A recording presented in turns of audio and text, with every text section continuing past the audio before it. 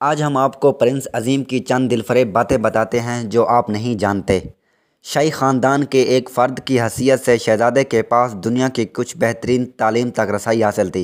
International school बरनोई में अपनी इब्तदाई तालीम के बाद वो बराक शहर के लहन पार्क स्कूल और ऑक्सफोर्ड में ऑक्सफोर्ड ब्राक्स यूनिवर्सिटी में तालीम हासिल करने के लिए आगे बढ़े।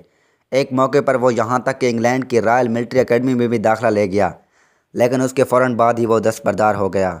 शहज़ादा हाजी अब्दुल अज़ीम बॉलीवुड के मंज़र का कोई अजनबी नहीं थे, और उन्होंने मरूफ मेहमानों से भरी जमातों को फेंक दिया था। कुछ मेहमानों में Janet Jackson, Mariah Carey, Sophia Loren Raquel Welch, Marisa Tomei और पामिला एंडरसन की पसंद शामिल हैं।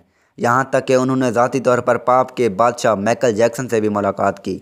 जेट जैक्सन शहजादे को खर्ज तसीन पेश करने के लिए इंस्टाग्राम स्टोरी अपलोड की। कहते हैं कि, अजीम, मैं आपसे बहुत प्यार करता हूँ। इन मज़ीद दर्द नहीं होगा। सबसे ऊँचे इंतहाई मेहरबान के नाम पर अब वो तुम्हारा ख्याल रखेगा।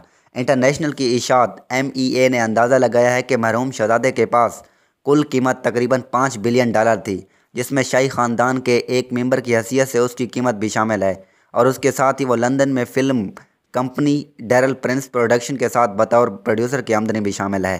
शहजादा हाजी अब्दुल अज़ीम बतौर फ़िल्म प्रोड्यूसर 2012 में डेरल प्रिंस प्रोडक्शन की जहाज़ पर आए थे। कंपनी दी हैप्पी बिज़नेस, आप नहीं हो और उनकी ज़िंदगी का वक्त जैसी फ़िल्मों के लिए ज़िम्मेदारी रही है।